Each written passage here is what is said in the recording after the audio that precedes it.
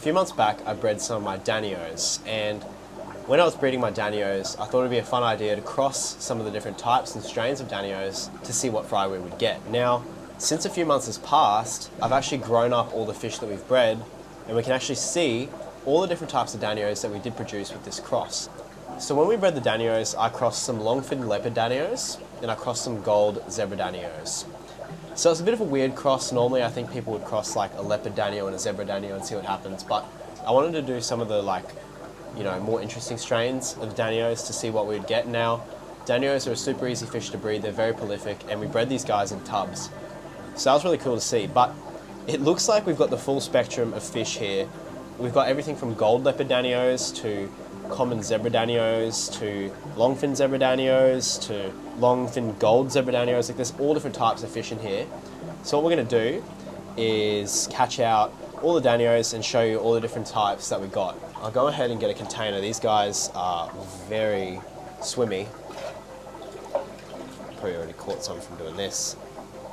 Yeah, I already caught a few. So all we'll do is just go ahead and take a big scoop and I guess manually sort them out. I don't know. See here, all those different fish. So put them here. Okay, so we have a little sample here of the Danios. Now, in this sample, I can already see a bunch of different types. So what we have in here is some short fin gold leopard Danios, some short fin gold zebra Danios, some long fin common zebra Danios. Yeah, that seems to be what we have in here. I don't know if we have any short fin common zebra danios in here, but there's a whole bunch of different types in here.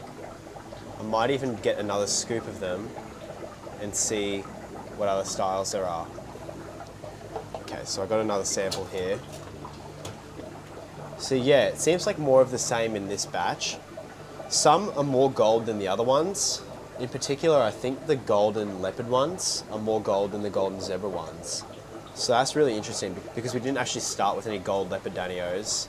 I haven't actually seen gold leopard danios. Like I'm obviously probably not the first person to make these, but they do look pretty cool. So what I'm going to do is separate them out, and we can individually have a look at all the different types. Alrighty, so I've just gone ahead and separated out the different types so we can look at each different type of strain. So from what it seems, mostly what we've produced is gold zebra danios. There's also the gold leopard danios, and then there's longfin zebra danios. There's nothing really else than that. So there's three different types. So we'll take a look at the golden leopard danios first. So you can see these guys here now, because they swim so quick, it's going to be really hard to like get a good focus on them. They look exactly like the golden zebra danios, except they've got the leopard pattern. These guys appear to be a little bit more golden than the other zebra danios, but it all depends on each different fish. I mean, there's nothing too crazy about them. They look a little bit more clear, but we did produce some golden leopard danios, which is really cool. I haven't seen these in store, but like I said, I'm sure someone else has made them before. Now we can take a look at these longfin zebra danios, which a lot of people have seen before.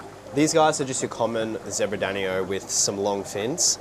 They look a little bit like an arowana, but like really, really miniature and a lot cheaper. But they do look really cool. I'm surprised we produced these. We've obviously carried the zebra gene into the longfin danios. It's really interesting that we didn't produce any longfin leopard danios because that's what we started with. Instead, we produced longfin zebra danios. I don't really have a good understanding of genetics, but I have found this really, really interesting. And then we can finally take a look at these, which are the golden zebra danios. So we did start with some of these, and these seem to be the most dominant fish in the whole batch. There's lots and lots of them. Yeah, these are just a zebra danio, but golden, and they're exactly the same as the golden leopards, they've just got the zebra pattern.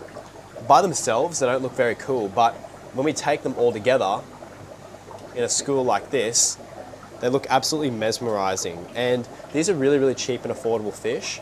So what I'd recommend if you want to breed some Danios is go and get a bunch of different types, mix them together, and then if you want a big school of them, you're going to get a big mixed school like this, and it looks absolutely amazing. Now, if in Australia we were allowed to keep some GloFish, I would have definitely done this with the GloFish and made blue ones and red ones and all that kind of stuff. But we don't have that luxury. We have to stick to these different, you know, common types. But I think this project really showed us what you can do here with a little bit of money, a little bit of time and effort. You can create a real cool bunch of fish. So thanks so much for watching this video, guys. I hope you learned something. I hope you enjoyed watching it. And yeah, I hope you found it fascinating. I found it real cool. So Let me know if you want to see more videos like this, and I'll see you guys in the next one.